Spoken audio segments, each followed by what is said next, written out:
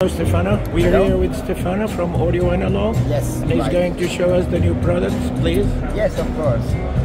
This is uh, the Absolute in version double R. That means uh, relay and resistors uh, volume control. That is an analog volume control in practice.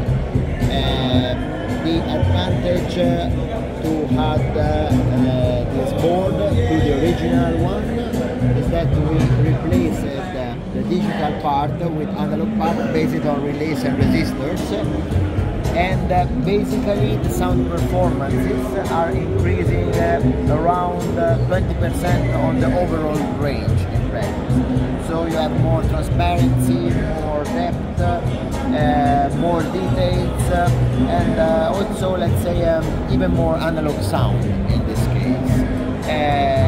Also nice that gives an effect uh, of a continuous click click click when you decrease and increase the volume this is one of the uh, important improvement and news that we did for last year. And also available for the Maestro. Uh, something important to say is that uh, also the existing standard versions can be upgraded to the double R version. This is the standard one, but can be added uh, the analog board like the Absolute. Just a, uh, it's just a new PCB and you can upgrade. Yes, yes, you can make the upgrade in our factory. Thank you. Uh, your new speakers? Yes, we also have, uh, we, are, we are also introducing the new speakers. Brand name is not Audio Analogue, but we are using uh, AirTech for these new speakers.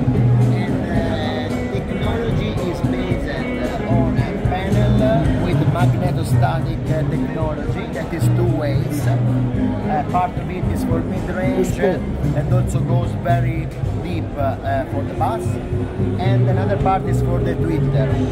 Furthermore we also have a traditional driver that works only as a subwoofer.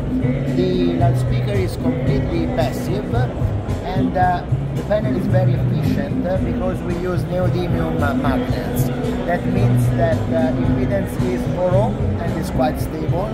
Sensitivity is 87 dBs, so can be also uh, connected to a not really powerful amplifier. Let's say 80 watts, 100 watts, like we have uh, Puccini or Maestro Anniversary is already enough to drive this kind of speakers.